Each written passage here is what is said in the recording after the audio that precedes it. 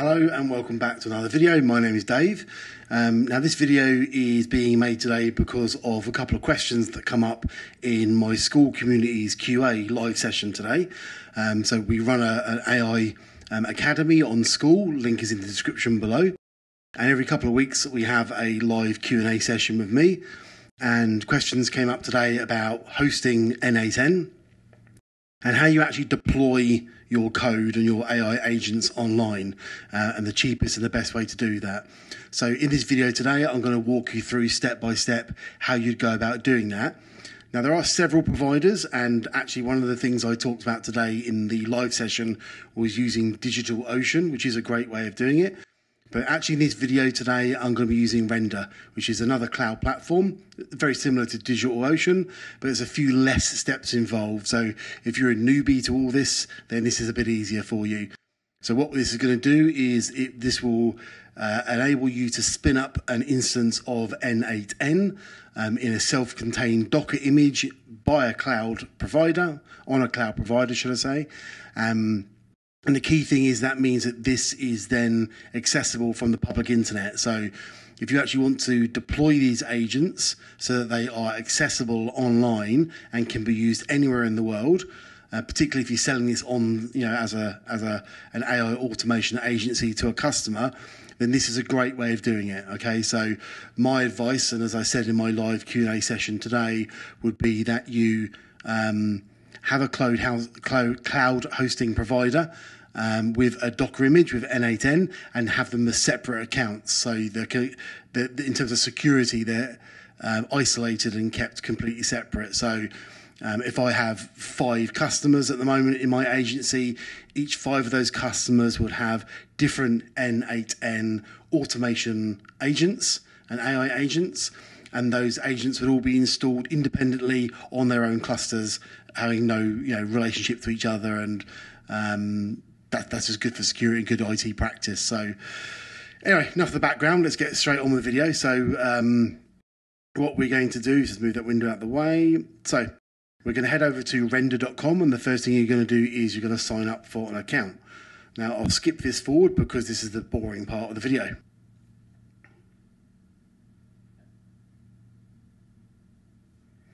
Okay, so once you are all signed up to render service, what we're going to do is select a web services, and then you're going to click an existing image.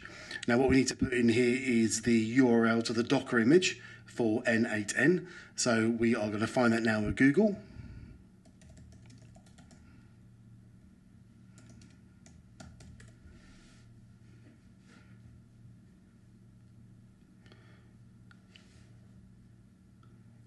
Okay, so what you're going to do is you're going to scroll down the Docker page here, and you're just going to pick up this URL here that says docker.n8n.io forward slash n8nio forward slash n8n.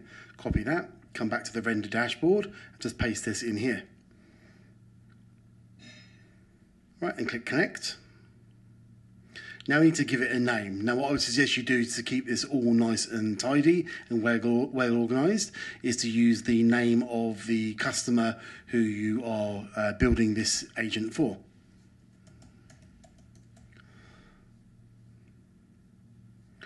Okay, so you can choose your region here. Uh, if you're in the US, you've got lots of different options there. And you've got some options also for Asia and for Europe as well.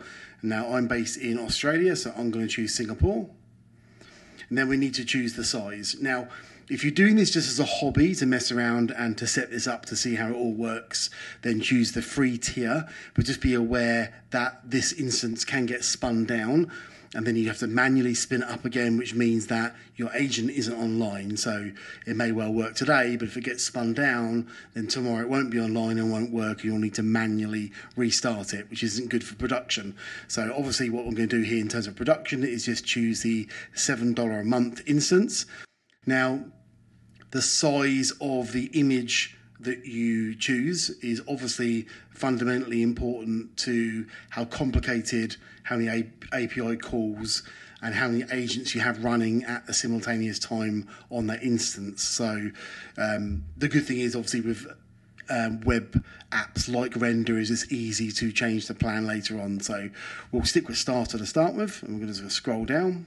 Okay, and that's basically it. We're just going to choose on deploy web service. So what you'll now see, this, this will take a few minutes, and you'll see that basically this will install the N8N Docker image on your new instance um, on render.com and um, you'll be almost ready to go. That's simply how easy it is. Now, one of the things just to uh, that might catch you out is you will see a link there that says available now on localhost. You just need to give it a few more minutes. You'll see the in progress button there um, with the spinning circle. Just wait until the installation is fully completed, and then you'll see the URL that you'll be able to use.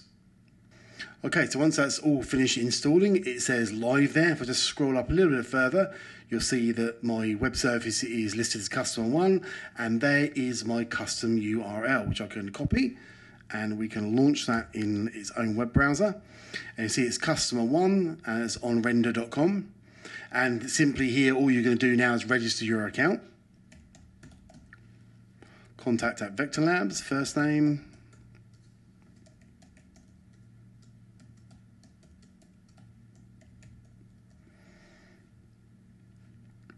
Click on next, save those details. Just going to skip these quickly.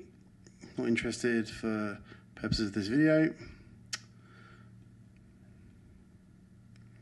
Okay, you can get the free license key at the moment for the uh, additional pay for features. I'm just going to skip that. And there you go. You basically have your own self hosted instance of N8N which is available live online on the internet. You can now upload and deploy your workflows. Um, you can, uh, so if you set this up correctly, this will be done in the customer's name with their payment details that they're paying for the subscription. Um, or if you have a different business model, you can obviously have it set up in your name. You just need to be aware of where you could get caught out is if the agent is really getting activated lots and lots and lots, and suddenly you're caught up in a tailspin having to increase the size of the EC2 instance. Um, yeah, if you're using AWS backend. Um, so yeah, so you got to be careful that you might end up with a situation where you're paying more money and you haven't got that in your contract that you can up the up the price depending on the usage, and also of course be careful of the cost of the API calls as well. If that's in your name, you need to be very very careful of how many times the agent is being called, and those costs for the API for OpenAI um, can mount up very very quickly. So personally. I like to set this up with you know my own API to start with and get the everything tested and demonstrated to the customer so they can see it all working. And then what I like to do is once once it's deployed, I have the customer set up their own API account with uh, OpenAI or or um, Anthropic, and depending on which LLM you're going to use, and it's their account in their name. They're the API key owner. They pay the API costs, and I just use the API key in their own workflow here. So most of this then is in their name, uh, and they are responsible for it. You're just being paid to set up the agent um, and then you know, maintain it if you have to.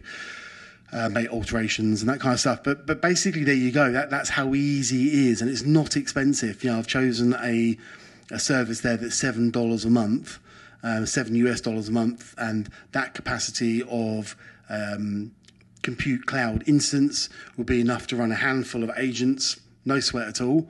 Um, and there you go. That's as, as, easy as that. You can, you can bookmark that URL now and give that to the customer and, and keep a record for yourself. And that's it. That's how easy it is to deploy um, AI agents using N8N on the public internet.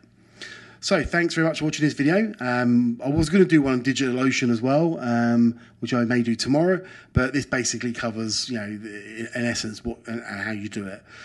Um, so uh, thank you very much for watching this video. Please make sure you like and subscribe, and please feel free to check out my AI community, um, which is called the AI Academy. Link is in the description below.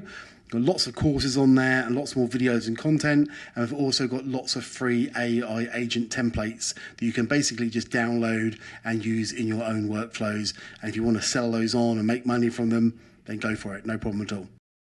Thanks very much for watching this video, and I'll see you on the next one. Bye bye.